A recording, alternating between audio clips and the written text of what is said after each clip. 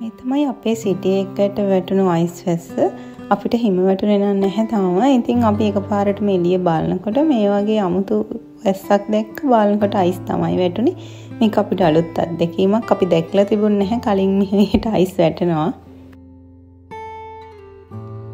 අපේ ගෙදර ඉඳගෙන බලනකොට අපි දැක්ක ඉස්සරහා තියෙන පාක් එකේ කොටසක් සුදු පාටට වගේ තියෙනවා බිම.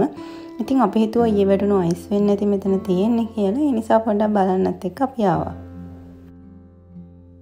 අපි ආවා වැස්සෙම අයිස් බලන්න.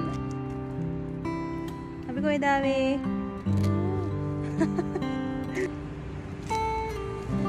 අපි දෙන්න තෙමි තෙමි බලනවා දැන් මේ අයිස් දිහා. මෙතන තියෙන තනකොළ එහා තියෙන තනකොළ වර්ගයට වඩා වෙනස්. ඒ නිසා වෙන්න ඕනි ඊයේ රෑ වැටිලා තිබුණ අයිස් මේ මෙතන රැඳිලා තිබුණා. ඒ කියන්නේ එක ලේ එකක් මිදිලා වගේ තිබුණා. ඇවිදිනකොට ලිස්සනවා.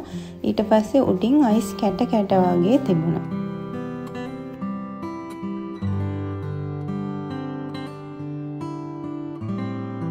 මට හිතුණා ඉතින් මේ වැටුණ අයිස් කැට පොඩ්ඩක් අල්ලලා බලන්න මොන වගේද කියලා.